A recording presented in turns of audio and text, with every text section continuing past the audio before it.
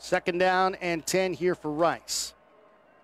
Stankavage fires right side pass tipped in the air, and that pass is picked off, intercepted to the 20, the 15, and out of bounds. No, still in bounds. Finds his way towards the pylon. Did he get in? No. They say out of bounds, but at the two yard line. It's just how they draw it up in practice.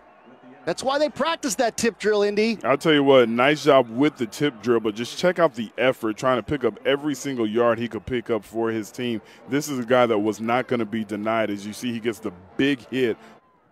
No receivers out wide. They've got extra tight ends. Handoff. Up the middle. Into the end zone. Touchdown, Roadrunners.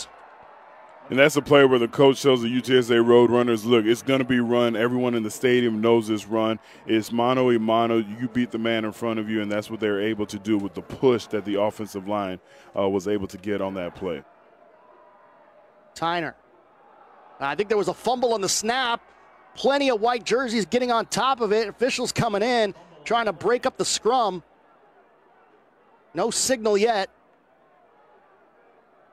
And UTSA says they have it. And indeed they do. Formation. Stankavage under center. They've got everybody up on the line. Handoff. Hit.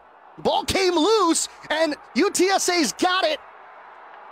Brendan Johnson into the end zone. Defensive touchdown. And UTSA may have put this one on ice, but there is a penalty marker down.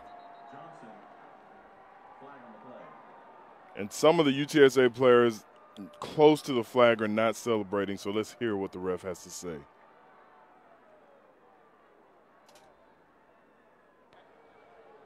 During the return, holding number 91 of the return team, 10 yard holding from the spot of the foul. First down, UTSA. Handoff, up the middle, Rhodes, touchdown. Second touchdown of the game for the Roadrunners, and both of them have come off of Rice turnovers in their own territory. It's final minutes, 38 seconds to go, though.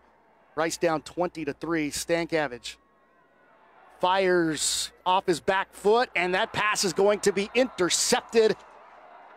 Tedrick McGee I'll tell you what, that's a good feeling. Whether it's NFL, college football, when you win on the road, it just makes that travel back home that much more delightful. And I, I'll tell you what, that's one of the things I miss. When people ask former players, what do you miss? It's always the camaraderie, the locker room, and traveling after a road victory. So UTSA going down I 10 for about three hours will enjoy that trip back to San Antonio.